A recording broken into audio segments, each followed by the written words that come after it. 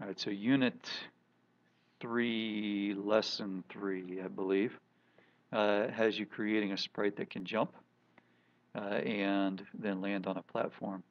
Uh, so the jumping part they, they made was pretty easy. All right, so they started if if spacebar is pressed, then they have you repeat 10 times, change y by 10, that's going to move them up, and then repeat 10 times, change y by negative 10 to move them down. So if spacebar is pressed, move y up and then move y down. When I click the green button, I go up and down.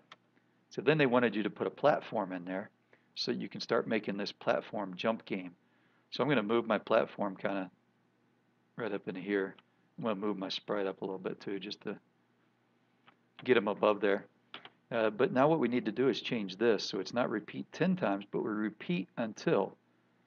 So there's a repeat until cut block in there and you drag in the sensing block until touching color and then they talked about the eyedropper tool. So here's the eyedropper tool.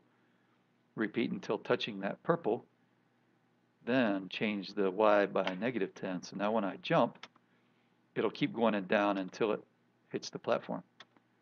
So when you combine this with some other movement you can start to get your character to jump around. Hope that helps